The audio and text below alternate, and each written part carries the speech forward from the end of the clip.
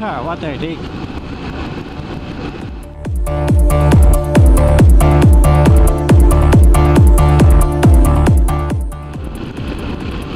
Yeah, these uh, side roads, these country roads, these small ones, they are, there's not so much traffic on these. And actually there's not so much, much traffic in, in Finland in, uh, on any road.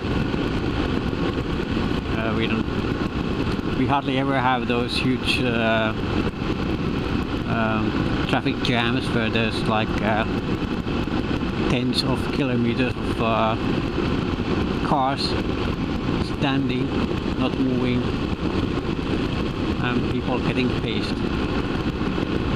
That's uh, kind of a rarity in Finland, but that's because we don't have so many people living in the country. And uh, if we had more people living here, then we would have the most, uh, the worst traffic jams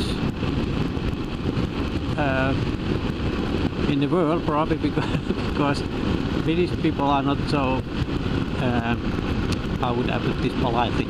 They are not so um, um,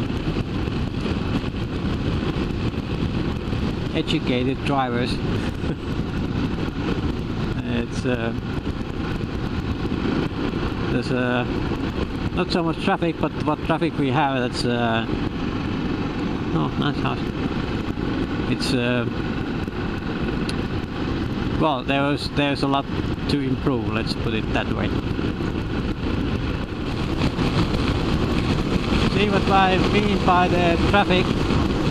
That we don't really have it in Finland. It's uh, 10 to 4 in the afternoon, and it's supposed to be the rush hour.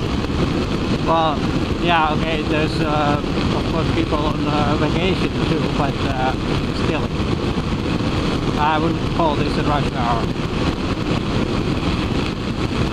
Yeah, and about filtering, the filtrage, was it? It's uh, it's not allowed in Finland. It's uh, there's not such a thing in uh, traffic law as filtering.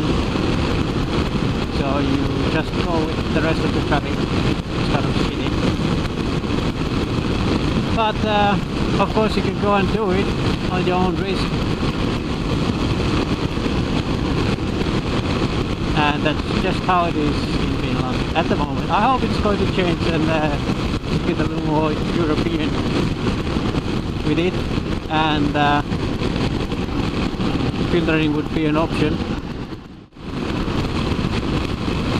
And uh, when it's uh, when it's part of the traffic culture and uh, uh, people who are driving cars uh, know to watch for the filtering motorcyclists,